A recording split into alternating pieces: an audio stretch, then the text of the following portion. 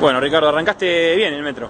Sí, fue 6-3-6-0, un partido con un jugador que tiene mucho futuro, promete, eh, pero hoy me parece que estaba nervioso Cotebur y falló mucho él, yo jugué regular. Le faltaba afinar la mano, ¿no? Se le Me notaba. sí, me parece que sí, pero tiene muy buenos golpes. Bueno, ¿y vos cómo te sentiste dentro de la Muy cancha? bien, muy bien, regular, muy regular, ¿viste? Entraron todas, no, no hubo grandes golpes, pero entraron, así que con aguantarlo alcanzó.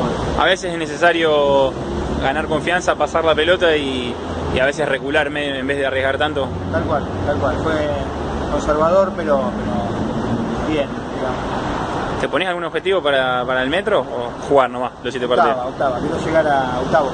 Hay octavos. Octavos, sí, octavos, cuartos, pero segunda ronda, digamos. Segunda Quedan entre los cuatro mejores. Tengo que llegar a, a segunda ronda y octavos tenemos que ver a quién me toca, pero...